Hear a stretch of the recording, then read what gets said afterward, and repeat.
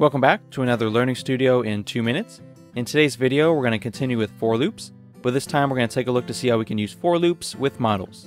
Alright, so let's go ahead and dive in and get started.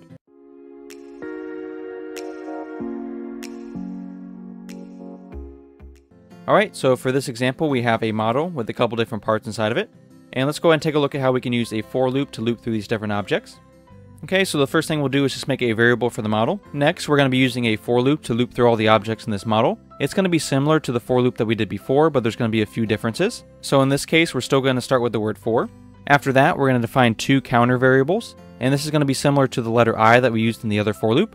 So in this case, I'm going to say num, comma, and then child. After that, we're going to say in pairs. Inside the parentheses, you're going to start with the model that we're going to loop through. So we created a variable called model for that and then we're going to say colon get children. And what this is going to do, it's going to get all the children inside the model. Outside the parentheses, we're going to say do.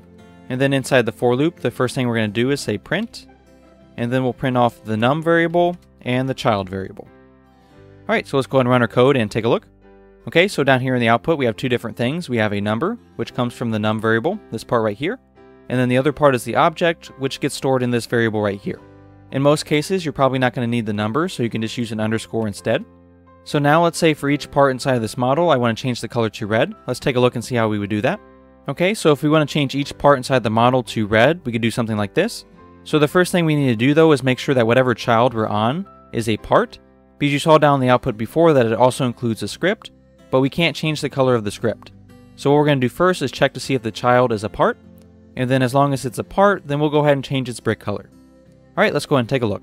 Okay, so we can see that it almost worked except for the wedge here. And the reason for that, this is technically a wedge part, so this is what we would have to change in the script. So on the script here, we can change it from part to base part, and base part will include the other types of parts as well. And there we go, so now all the parts inside the model are red. Okay, so just as a quick recap for this for loop, we're going to use two counter variables. The first one we're probably not going to use, so you can just use an underscore for that. And then inside the parentheses, you're going to start with the model and say get children. And then inside the for loop, you can use the counter variable to change whatever parts you want to. Alright, so that's going to be it for this video. I hope you enjoyed, and stay tuned for the next one.